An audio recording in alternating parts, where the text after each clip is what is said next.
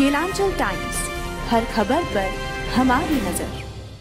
UP के कौशाम्बी ज़िले में आठ साल की बच्ची से रेप के आरोप पुल, की पुलिस से मुठभेड़ हुई। बताया जा रहा है कि पुलिस कार्रवाई के दौरान आरोपी ने पुलिस टीम पर तमंचे से फायरिंग कर दी। पुलिस टीम ने भी अपना बचाव करते हुए जवाबी कार्रवाई में फायरिंग की, जिससे आरोपी के पैर में गोली लग गई। घायल आरोपी को पुलिस ने गिरफ़्तार कर इलाज के लिए अस्पताल में भर्ती कराया है। घटना कोखराज थाना क्षेत्र की है।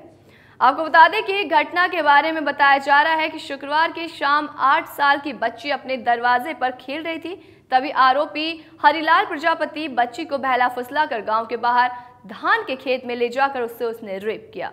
जब बच्ची बेहोश हो गई तो उसे छोड़कर वो वहाँ से फरार हो गया। घटना की सूचना के बाद पुलिस महकमे में हड़कंप मचा है। पुलिस और फ़ील्ड यूनिट टीम के साथ पुलिस अधिकारी घटना स्थल पर पहुँचे और मासूम बच्ची को इलाज के लिए जिला अस्पताल में भर्ती कराया है।